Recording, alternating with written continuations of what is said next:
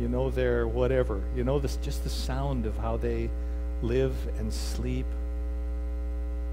and function. That's how deeply God knows you. God knows the sound of your voice. I know my own, and my own know me. And everyone has a voice, and that is your own imprint on this world, your own DNA, and your own character.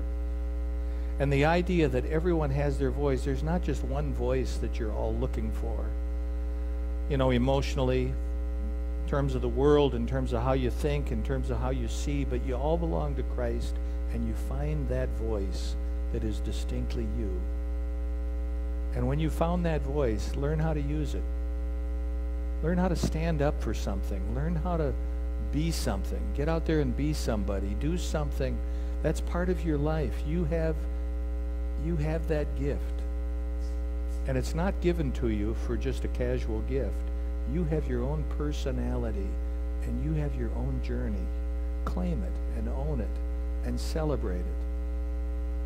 Sometimes we go through life thinking it's somebody else's gift, or we've not been dealt the right hand, or dealt enough cards.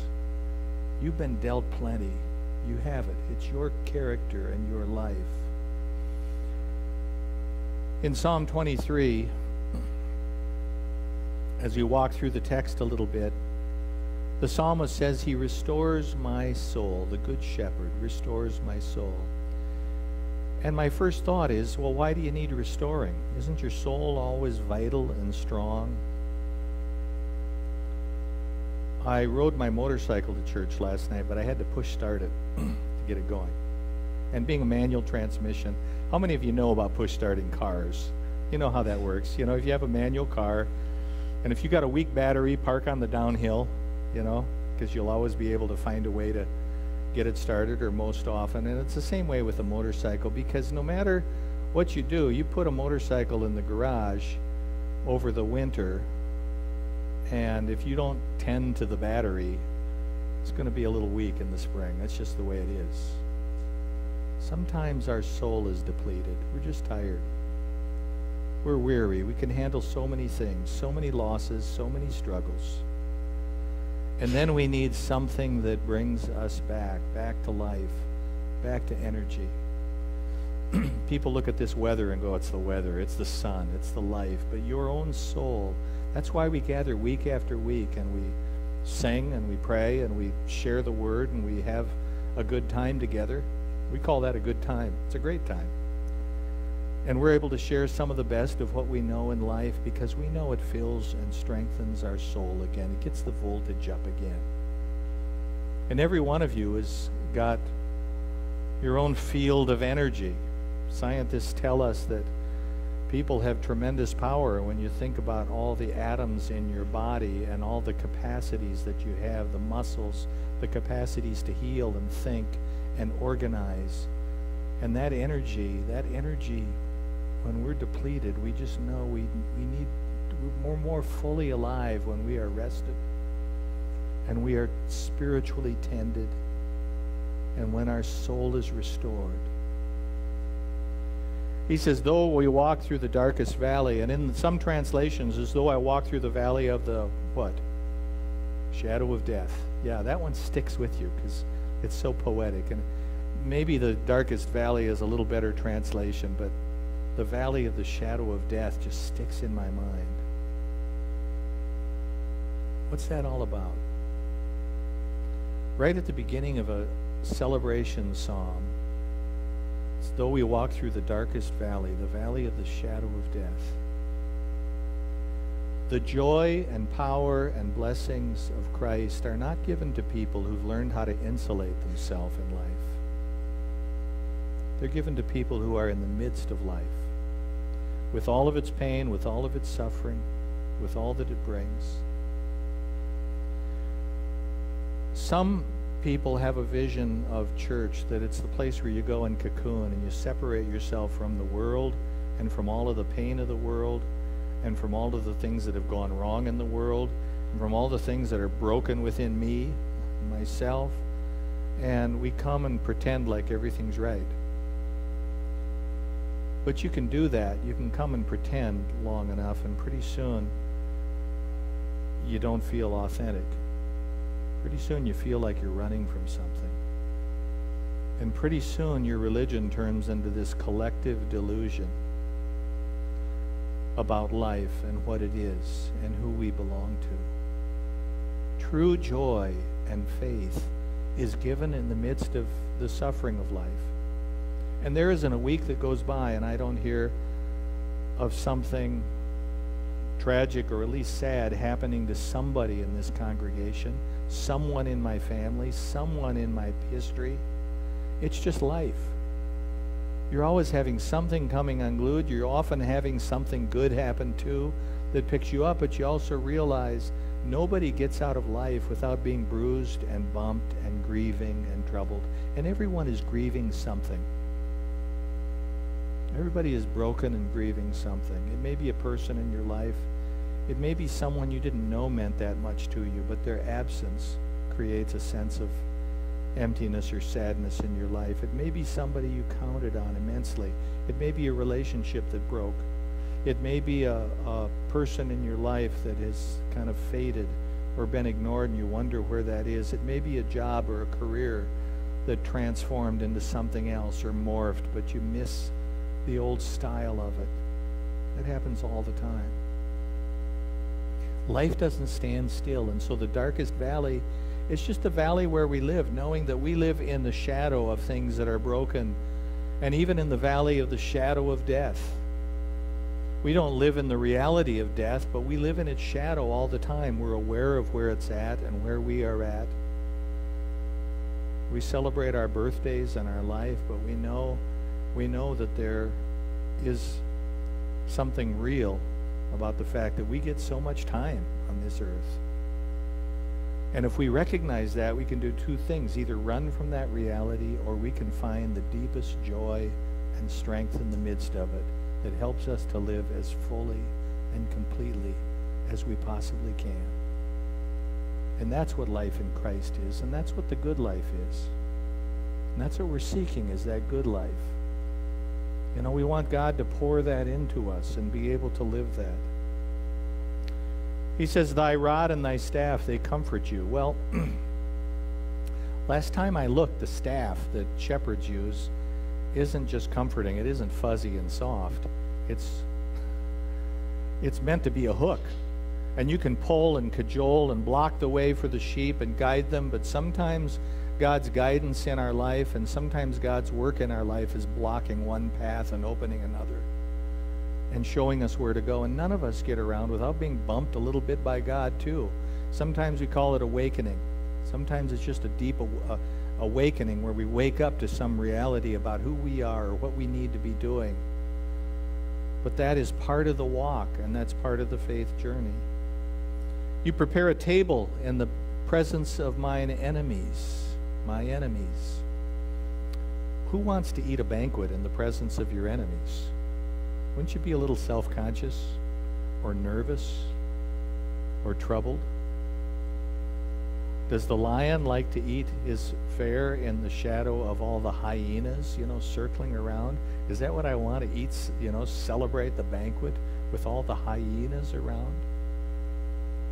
But then I realize too, if you can't celebrate in the midst of things that are broken and troubling and disturbing, you'll never celebrate in life. You just won't. If you learn to celebrate in the midst of the brokenness and know what is strong and what is gift and what holds you, then there's no circumstance that destroys you. What if we said we're not going to have church except on a week when nobody has lost anything? Would we ever worship? Or where nobody has had something bad happen to them? Or we're going to comb the paper, and if the Saturday, Sunday morning paper we're not going to have churches if there's bad news going on. It's just, it's a nothing but good news we're going to have. We're not celebrating our delusions and illusions about life. We celebrate the presence of Christ in the brokenness of a world that is always breaking in on people. It's always disturbing them. It's always grieving us. And our strength is just knowing who walks with us. Our strength is knowing who walks with us. You anoint me with oil, my cup overflows. You have to anoint somebody pretty heavily before the cup overflows with oil. And you realize it's God pouring into each one of us exactly what we need for this life, for the challenges that lay ahead. That God's already given you what you need. God has already given you the gifts and the intelligence, the talents. You can't sit back and say, God, I wish you'd blessed me like so and so, and then I'd really have a purpose in this world. You have what you need. And in whatever occupation you are in or whatever service you're doing, you still have a path of living out the faith with integrity and with authenticity and with courage, the life that you've been called to. It's there for you, and God has already equipped you and overflowed into your life.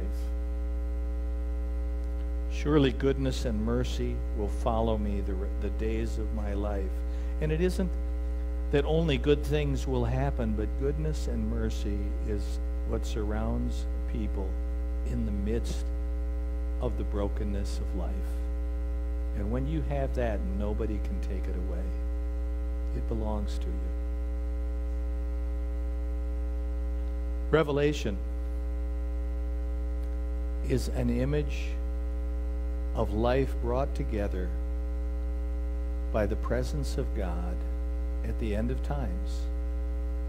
And it's almost like if people had lived the fullness of this promise, and they figured out how to live the fullness of this promise, whether they knew the name of Christ or not, whether they knew the name, whether they knew what it meant to be a Lutheran, whether they recognized, excuse me, how specific that is, it's an image of all nations and all peoples and all languages gathered before a God and washed clean by the blood of the Lamb and learning to live in the mercy and love of God towards each other. And you realize whether people specifically find the path that brings them on the same path you are on, we are all part of this cosmic grace of God trying to mend this entire world.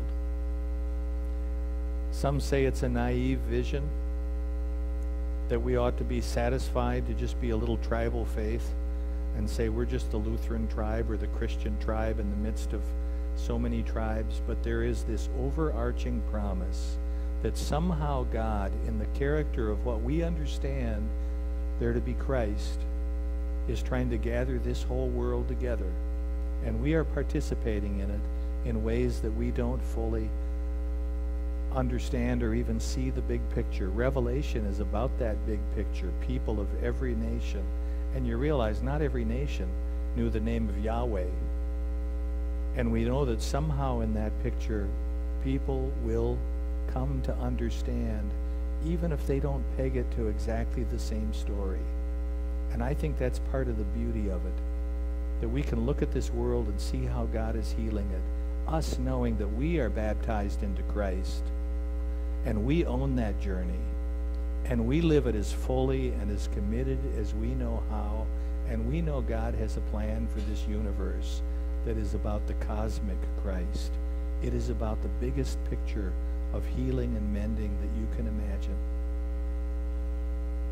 So each week, week after week, we receive the body and blood of Christ, knowing God makes us whole, but that now we're being broken open for the healing and the mending of this whole world.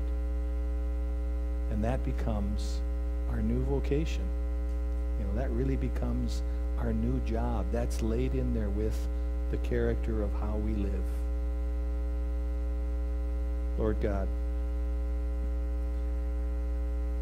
we know our story of Jesus and we cherish it deeply, but we know the power of the healing of Jesus is even bigger than the story.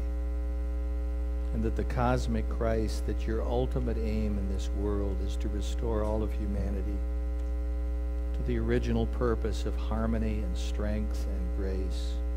Help us to live it fully and powerfully in this place. Help us to break it open into our lives and trust it in our vocations and help us to live toward the promise and the day when all will be made one. Where languages will be no barrier, where skin color, where nationality, but where all people are washed in the blood of the Lamb and resonate with the promise of his grace. In your holy name.